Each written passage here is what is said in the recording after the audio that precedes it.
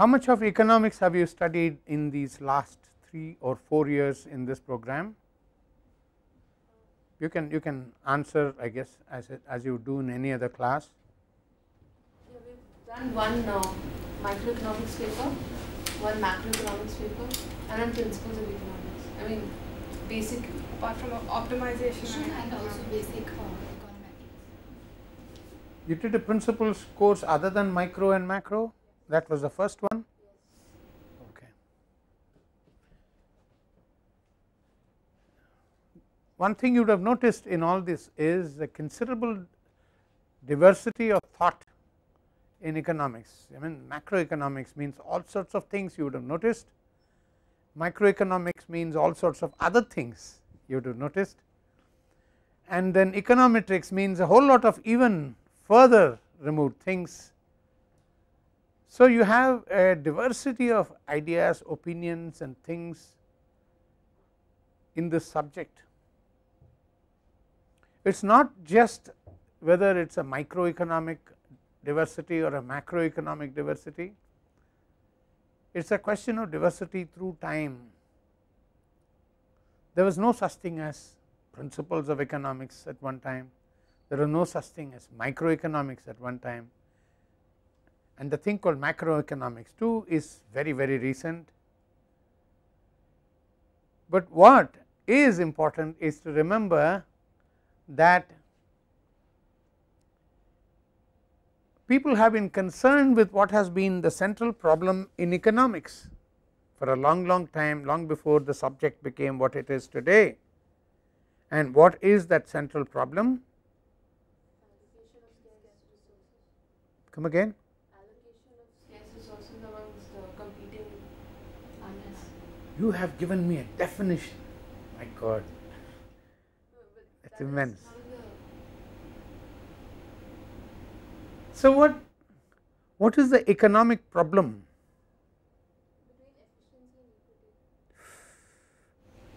Your PhD, incredible. No, I mean absolutely right, but you know I am in the first class with you guys and I am rather illiterate. So, efficiency, equity is way above my head. Who should produce? Uh, how much should be produced? much for closer yeah much closer to the simple levels of my thinking but why are you worried about who should produce how much should be produced etc etc why do these questions come up anyway Because there are certain goods which uh, for which you might need a distributor or provider because Uh, there is no one person who who can stake claim to that resource.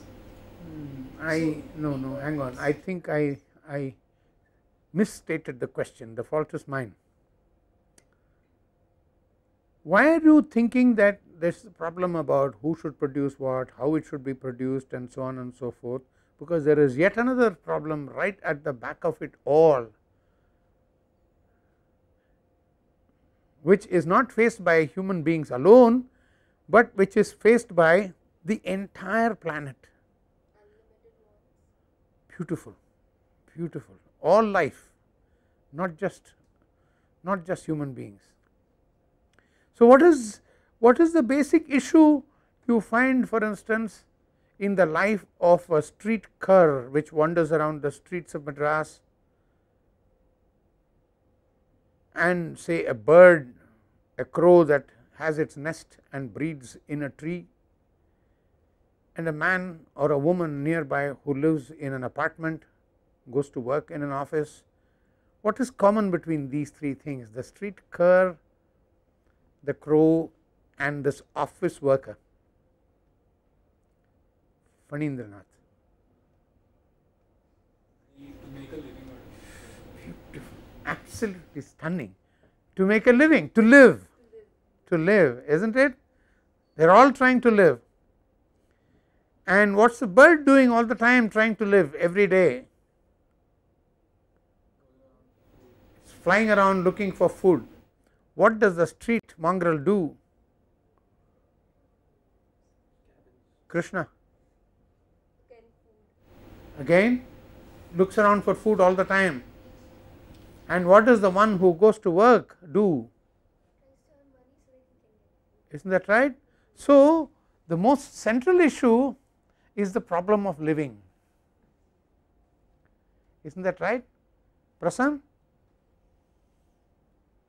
and the problem of living even more centrally is a problem which is dealing with something common to all these three. Can the bird find food wherever it goes can the cur find food at every street corner? Or the person who goes to work can this person find a job at will which would provide him or her with everything that he or she needs. So, all three are actually facing something. All three. What they need is not always available. Is not it am I right? Is there a word for it in economics? Absolutely. This is what I was getting at from the beginning.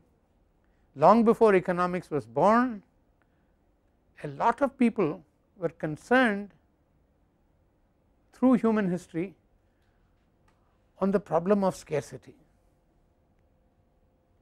And what should be done by human beings at the time when they were faced with scarcity.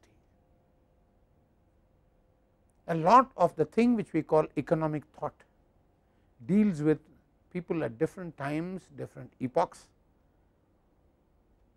who are looking at this problem in this perspective right. Now,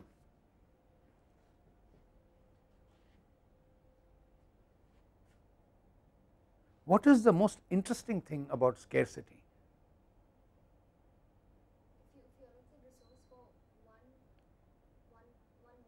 Then you can't use the same thing for another. Right, right, absolutely. You do not just have enough resources to satisfy all the wants, am I right?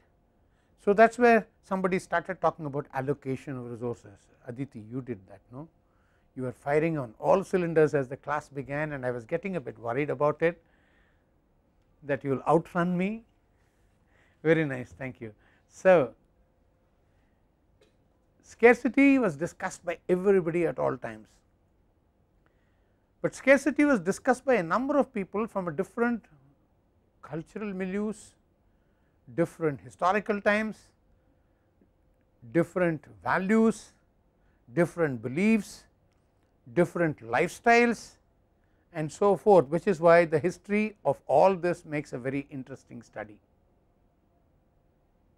right. So, what we will do now is to try and relate the way people look at scarcity and the problems allied with it. We will look at the way people looked at scarcity and the belief systems to which people belonged because they influenced a lot of what people thought about things. And we will also look at the way the belief systems were also connected in some measure with the lifestyles of people. So, what you need to do is to first have an idea of history of people and then how people thought what were the world views, what were the belief systems in different points of time in history and then how this scarcity was a subset of it all. So, this is the perspective. So, I threw two books at you as I came in both of them were dealing with history.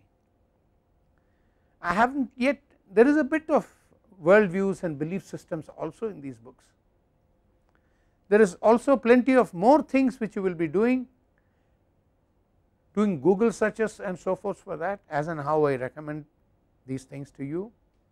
But the idea is to understand by the time you are through with these what 12, 16 weeks of learning with me to understand that economic thought, economic ideas did not jump from the sky they evolved. They grew out of a soil which was a set of belief systems, which was a set of lifestyles, which were social and historical and economic institutions. and if you understand economic ideas and their history in this fashion I guess you are understanding something which is organic, which is alive, which is being and becoming. Okay. Any questions up to this point?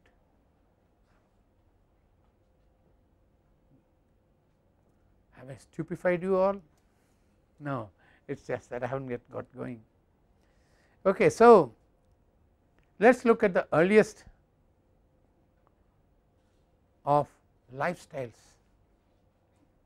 The earliest lifestyle, lifestyles which human civilization used to deal with and there are still parts of the world still dealing with that kind of lifestyle is what is called hunting and gathering.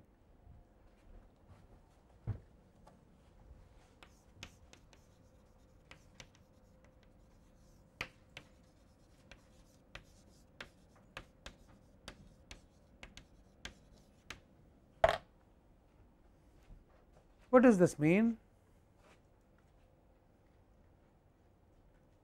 Hunting and gathering as a lifestyle. Avantika? living on subsistence of uh, uh, for food as in, uh, You could have a pretty good going as hunting gathering people, you do not necessarily have to subsist, no? your options are limited right You don't produce your Yeah, food. You- it's not you go out uh, in search of food and uh, You gather. like a- yeah, you gather food.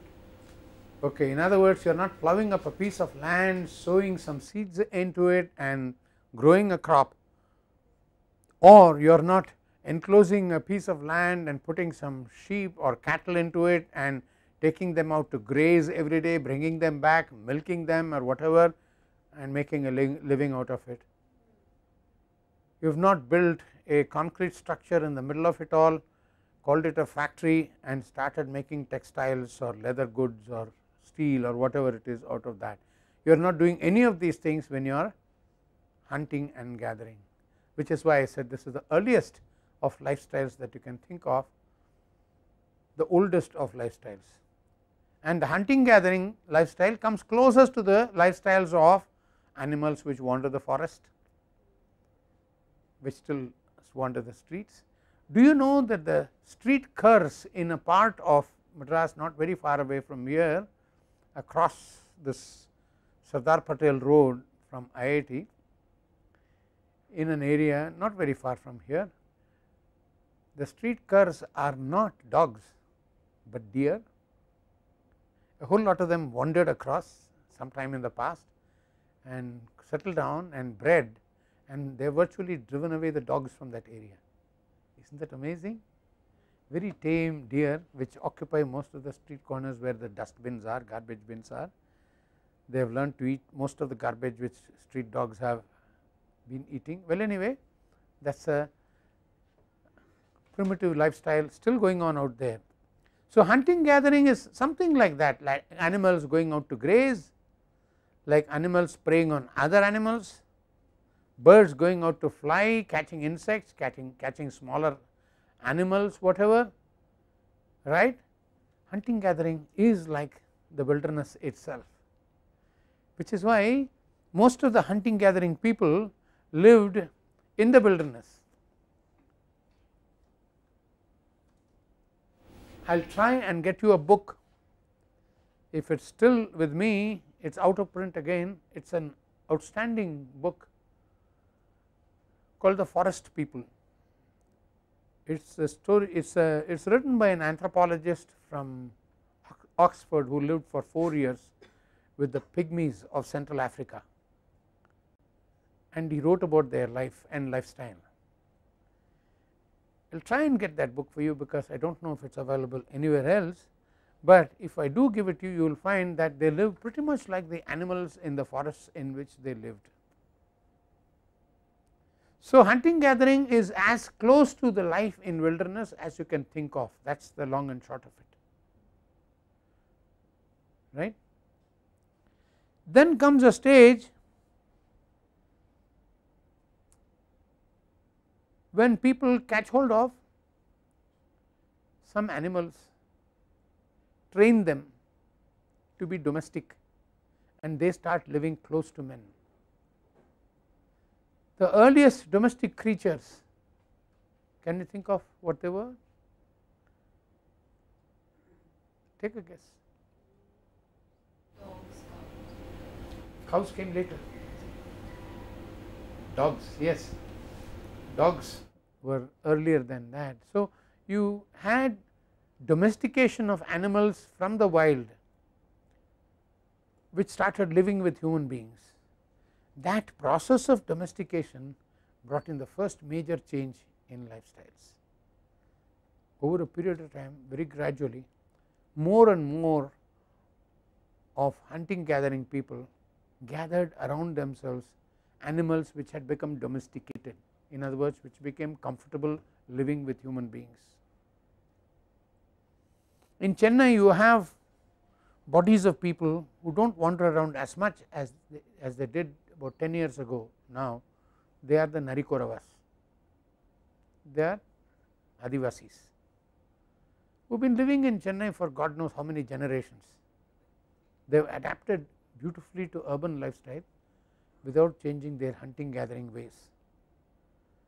You, early in the mornings you will still find a Narikorava here and there going about with a tricycle picking in the garbage dumps for plastic. They gather plastic which they can market and make money out of. They are recyclers. So, you have a hunting gathering lifestyle there. What is important is wherever you find Koravas going about you find animals. They have lots of dogs around them. Go around wherever they go. And if you look more closely you will find somebody has a monkey clinging to his or her back somebody has a mongoose in a little bag or a cage they still do these things.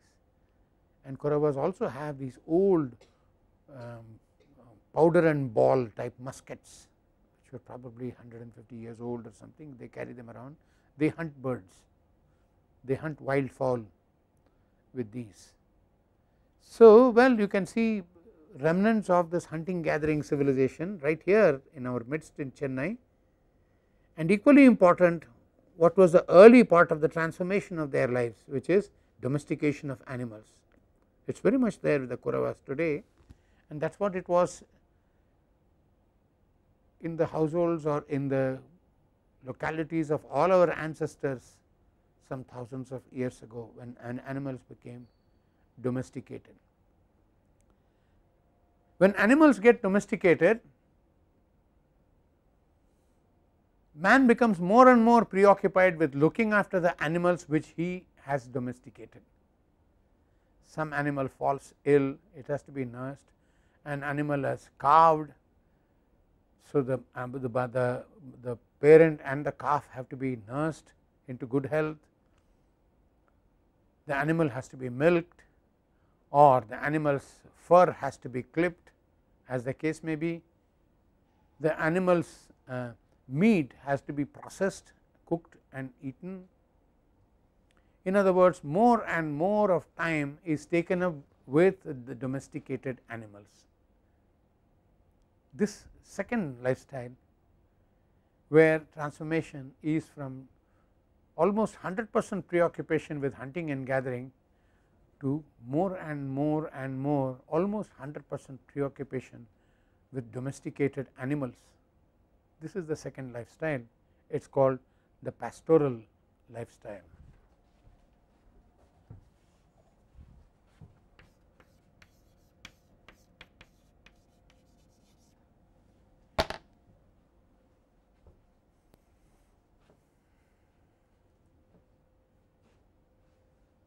pastoral simply means open fields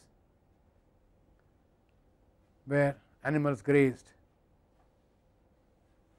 There are two things which are very common with the hunting gathering people and the pastoral people.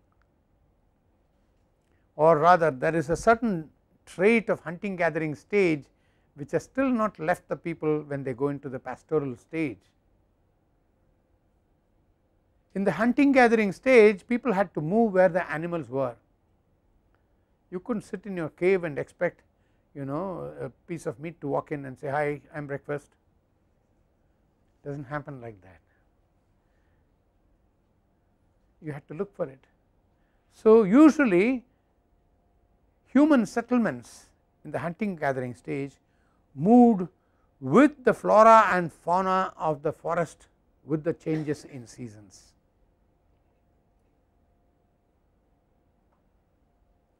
The best example of this are many of the American Indian nations, the Sioux, the Dakota, lot of them. They lived almost entirely on the American bison, the buffalo and the buffaloes migrated from one season to another in millions from north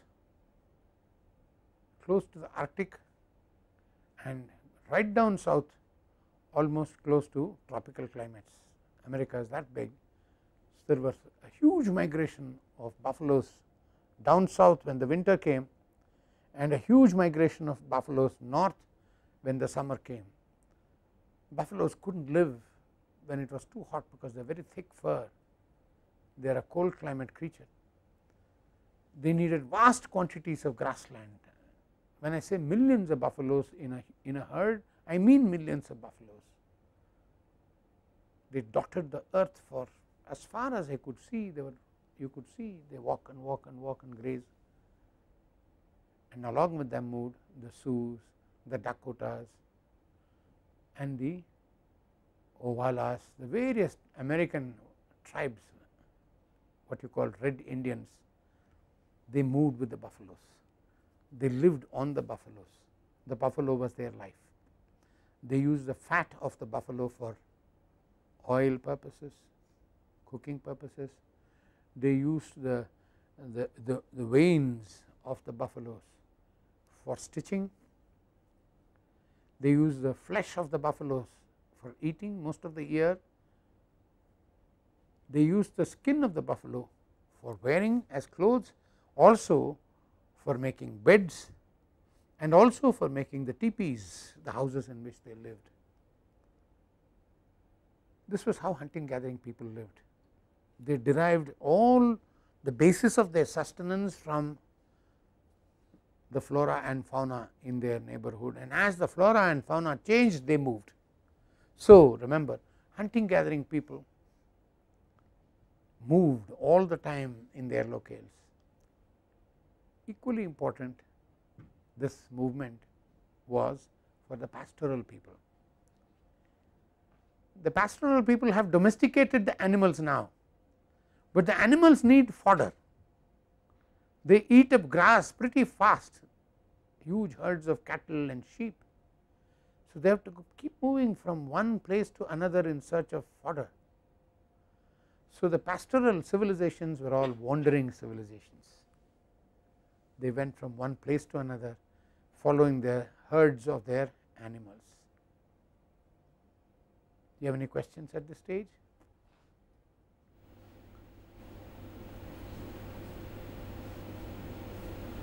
It is said, I am saying it is said because a large part of this side of history of India is speculation. It is said that the Aryans who came into India long long long ago were pastoral people, almost 100 percent pastoral people. One of the biggest threats which one king or a chieftain or a ruler could offer to another chieftain or a ruler would be to raid his territory and carry away his cattle. That is carrying away all the wealth of that kingdom. You take that away, the people are starved, the people are wiped out economically, they cannot live anymore. You had a very similar practice, a pastoral practice in Tamil country, here in Tamil Nadu about 2000 years ago. In the Sangam literature of that period, you find reference to a practice in Tamil called Anirai Kolvadu, which literally means grabbing cattle.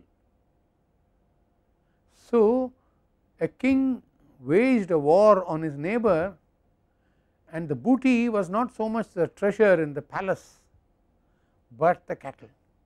They would round up the cattle, take it away. So, cattle was the basis of economics of the pastoral civilization. For the first time the resources are those which man can control, no longer some animal which he has to hunt, some buffalo which he has to follow or some bird which he has to hunt down or some fish which he has to pick up from the waters. No, these are cattle which are domesticated by him, trained by him, which listen to him when he says wah, they come. When he says shoo, they go away, they listen to him, he can feed them, he can breed them, he can reproduce them. In other words, the first economic asset comes into existence in the pastoral civilization.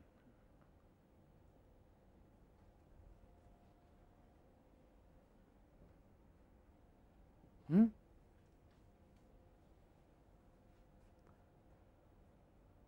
So, you can say the first variation of a modern economy comes into existence in the pastoral civilization. We can say that for the simple reason that the earliest form of assets which human beings can own, control, use for further multiplication of income and assets, these things come into existence in the pastoral civilization. So, we say the first of the modern versions of economy come into existence in the pastoral civilization right. Do you have any questions at this point? I have been moving at a fairly fast clip. No? Okay.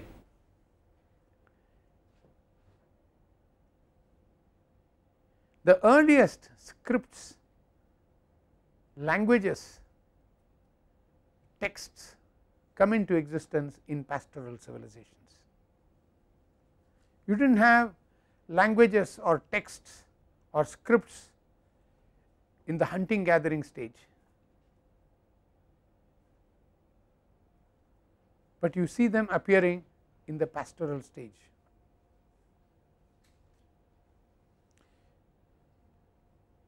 You do see figures carved in caves occupied by hunting gathering people way way back in time. You see those things, but you see the earliest languages Aramaic, Persian, Hebrew many of these things come into existence in the pastoral stage. Sanskrit too is said to have originated from the Aramaic script of the Middle East, which itself was a pastoral product. And interestingly, you look at Sanskrit texts, they are full of references to pastoral life, cows, animals of herding, ghee, right, and the flesh of cows offered in the yajna is very pastoral. So, you find very lucidly that early forms of human civilization originate with the pastoral lifestyles. As I said first the rudiments of economic processes begin in a very clear form in pastoral lifestyles by which I mean you see the development of assets economic assets in the form of domesticated animals. You see the multiplication of these assets in the reproduction of these animals in domestic stage and income coming from these assets in the form of the benefits from keeping these animals in the form of food, energy, clothing, shelter you name it all coming from the pastoral lifestyle. So, pastoral lifestyle has the origins of modern economic processes. It only not only that it has the origins of modern civilization because most languages, most texts originate about this time in human history. So, you can say the growth of modern civilizations starts with the pastoral lifestyles. No?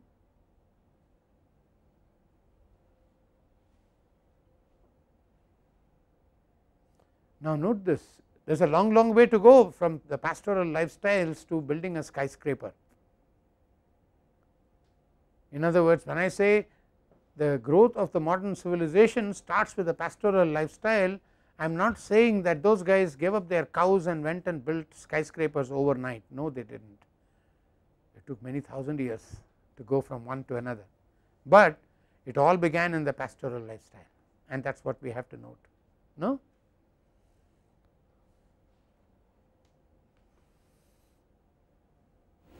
Now one of the things that happens in the pastoral lifestyle is that the animals cannot always find the food that they need. They wander it is true and the pastoral people wandered with these animals it is true, but very often there were famines which wiped out not just entire herds, but entire people who depended on animals. There were droughts which killed pastoral animals not only pastoral animals, but pastoral people too. In other words there was a thing from the hunting gathering stage which persisted into the pastoral stage this thing is called uncertainty. In the hunting gathering stage you are very much like a predator in the forest you which starts the day not knowing whether it will get anything to eat that day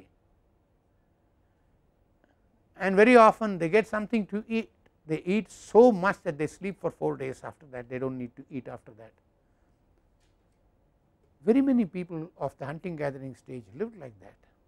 So, considerable uncertainty for food amongst other things then of course, you had uncertainty about shelter, good health, this that.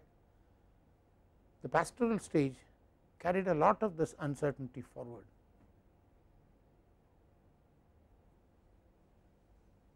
The pastoral stage in some respects had a larger version of this uncertainty facing it, because now the animals were not scattered all over the forest which you hunted one by one and ate and consumed, no you had them gathered in a herd and a herd can perish much faster in an epidemic than a single animal. Talk of a thing called foot and mouth disease. Have you heard of foot and mouth disease? It is a cattle killer, it is it is an epidemic. If you have 2 or 3 animals with foot and mouth disease, the whole herd is wiped out in 2 months.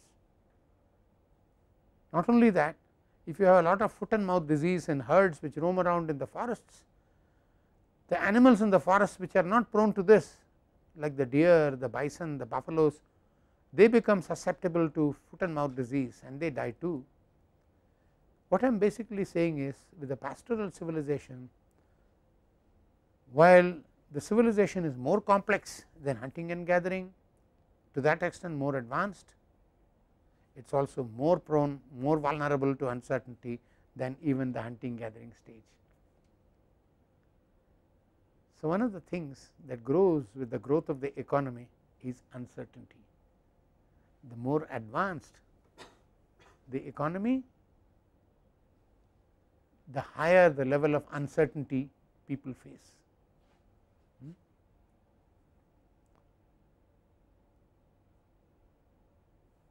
You had a pastoral uncertainty in foot and mouth disease. You have an uncertainty today in the stock market when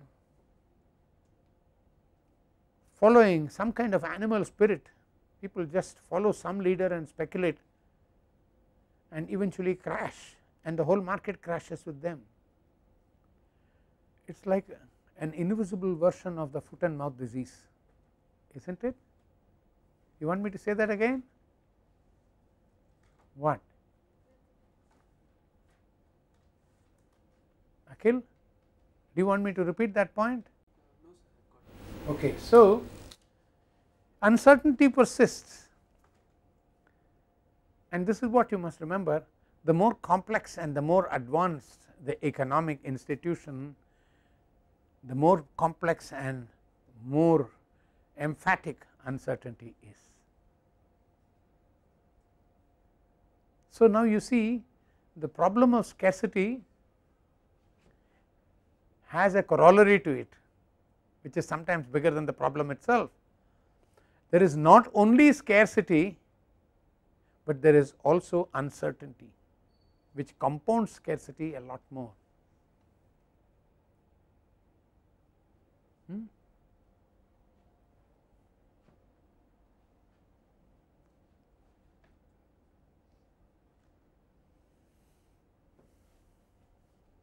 Necessity is the mother of invention they say and large number of human activities increasingly became focused to handling uncertainty. Essentially uncertainty is something about which you do not know anything. It is not whether will it rain this year or not, but more importantly will there be a large number of deaths due to foot and mouth disease, will there be a large raid by predators, predators from the forest which might eat up a number of our cattle, will there be an incidence of a disease like cholera which will kill a large part of our population. So, all the time the preoccupation of the human mind from the primitive early days of hunting and gathering through the pastoral civilization and later on is dedicated to one major activity that is explaining and coping with uncertainty.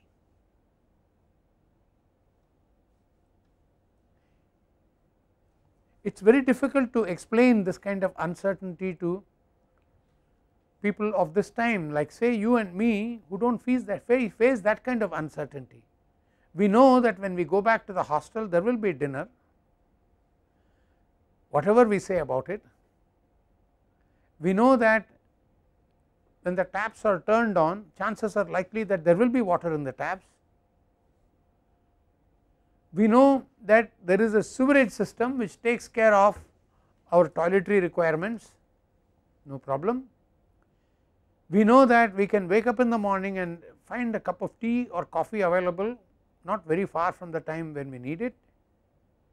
In other words there is a whole lot of areas in which our life is devoid of uncertainties. We are quite certain about many things. In other words we say our life is organized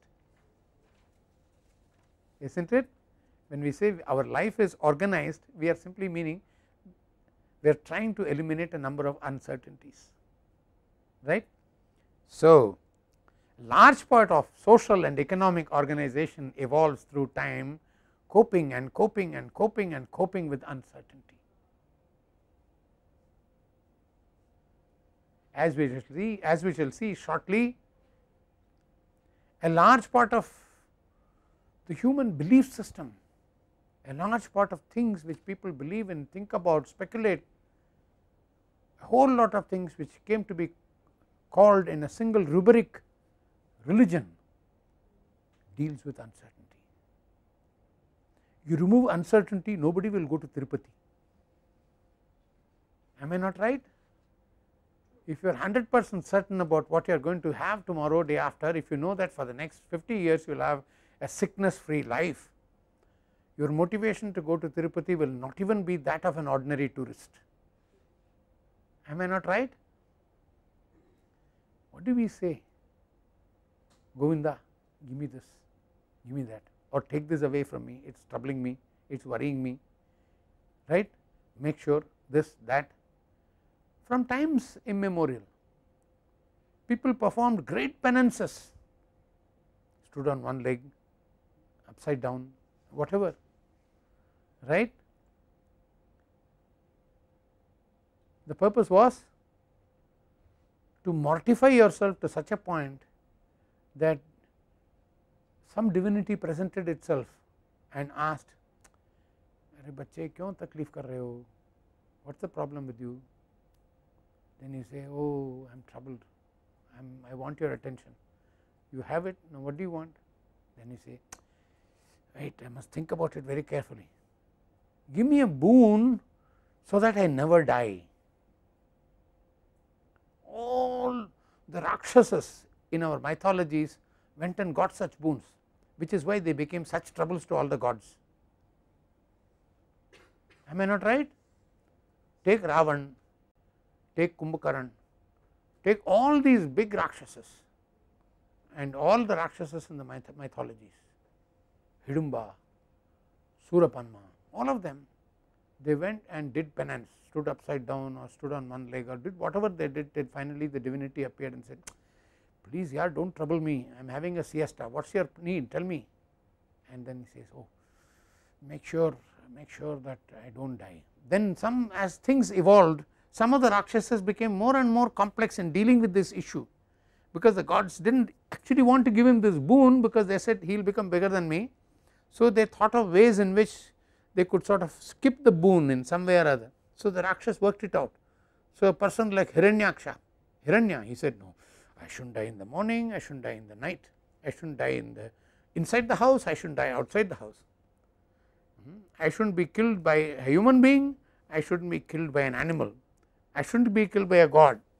Then he thought about it. I should not be killed when the sun is shining, I should not be killed when the sun is not there.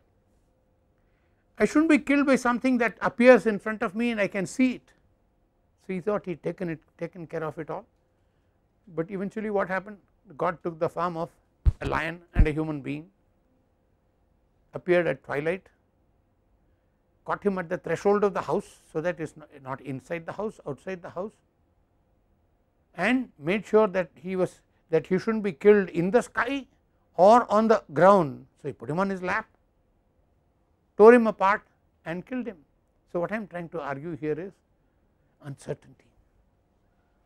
Uncertainty has preoccupied, imagine what complex mythologies have been written on the ways people coped with uncertainty, right. So, all organizations, economic organizations have grown more and more complex coping with uncertainty. Social organizations have gone more and more complex coping with uncertainty. I shall have occasion to talk about it in the next session how the big civilization of paddy countries in Tamil Nadu and other places grew coping with uncertainties and the institutions what kind of institutions caste kinship this that we will talk about it next session.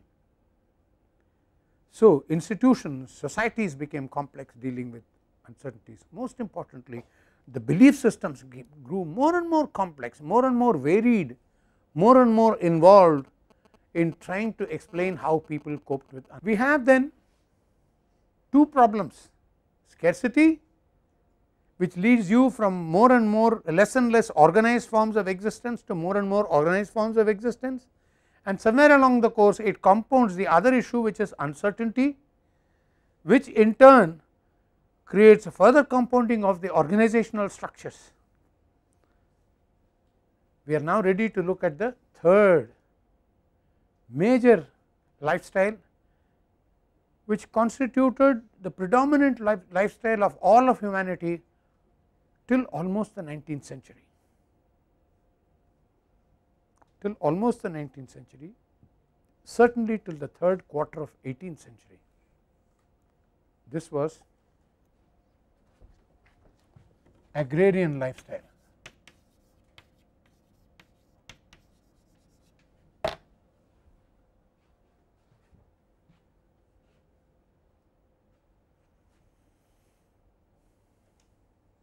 Agrarian an adjective coming out of agriculture. What is agriculture? I am not asking you to define it. What does an agriculturist do? Farms okay what is what does he do when he farms what is farming hmm? okay he sows seeds and then before he sows the seeds what does he do he gets the ground he gets, gets the ground ready then sows the seeds and then irrigates them make sure they get some water tries to protect them from pests right? And other destructive forces. And then eventually prays and prays and prays and prays that the plant should survive. Otherwise it will be forced to commit suicide right and then eventually one day the plant is ready the seeds are ready new seeds are ready to be eaten the crop is ready. So he cuts them harvest. In other words this plant this this paddy which would have grown somewhere in some swamp unnoticed by itself he brings it to a place readies a piece of land for it plants that thing here and controls tries to control the conditions under which it can grow and reproduce that is agriculture no? In other words the shift here is tremendous. From the organization by nature of the conditions under which plants live, grow and reproduce, we move to the organization by human beings of the same conditions under which plants live, grow and reproduce. This huge transformation in which man starts managing nature such that the conditions under which the plants grow, live, survive and reproduce can be managed and organized in such a manner they yield better results under these conditions than they would in the state of nature. This organization of nature is actually agriculture, is not it?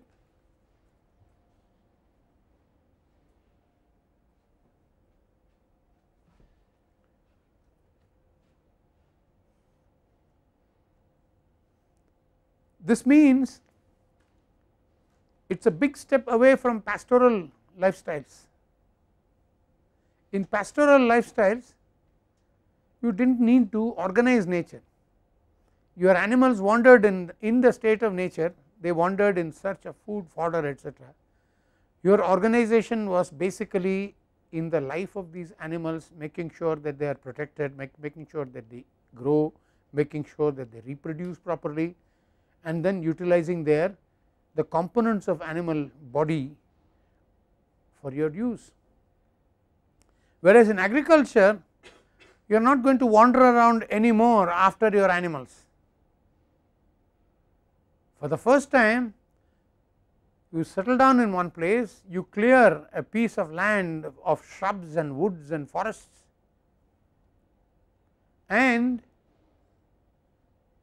prepare that land bring seedlings or seeds from somewhere, plant them in that place, irrigate the thing, protect it and then harvest it. In other words, for the first time man starts managing nature. So, that is the reason agriculture is a huge step forward in lifestyles and in civilizations.